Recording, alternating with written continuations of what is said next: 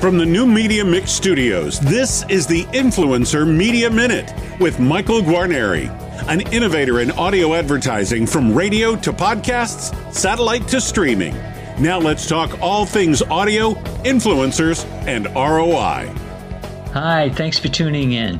I want to highlight an article and some stats SiriusXM Media recently reviewed that may significantly impact your TV advertising spend.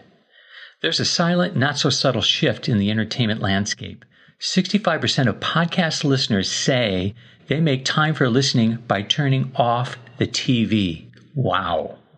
I covered this before in a previous blog post, and with mounting evidence, I gotta say it again your customers are moving. Are you? Is your advertising moving with them? Hollywood stars are podcasting and fans are following. Their favorite celebrities podcast is another way for fans to connect or feel a connection with the star. Gone are the days of blockbuster Tuesday night lineups on the networks. Like I mentioned above, almost two thirds of listeners have cut their viewing. Almost half say they've cut their on demand video consumption too. Face it, watching is dwindling by the millions.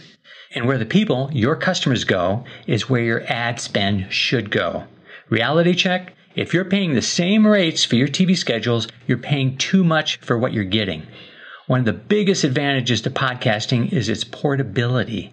Download a podcast and you can listen anywhere the gym, riding the bus, subway, while shopping, on the treadmill, while walking, driving, working. How do you think the boss would feel if you were stealing glances of your favorite sitcom during work hours? Put on some earbuds and you can keep on keeping on. And when it comes to TV, when do you typically take a bio break? When do you top off your drink and grab more pizza rolls? When do you take a quick glance at your social media? During the commercials. For podcasts, it's a whole nother story. Over three quarters of listeners admit they listen to the ads because the hosts make the ads part of the show. Listeners connect and are loyal to their favorite hosts. That's why podcast advertising is so effective. That loyalty transfers through the host reads and to the sponsors. Here's a wake up call. Almost 50% of viewers will complain there are too many ads on TV, while less than a fourth of listeners will make that statement about podcasts. Our creative director at New Media Mix, Nick Natarella, has said for years podcast advertising is TV audiences at radio prices.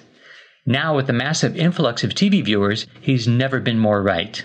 It's Advertising 101. You advertise wherever your audience is. And if your TV audience is making a shift to podcasting, your advertising needs to greet them at the door.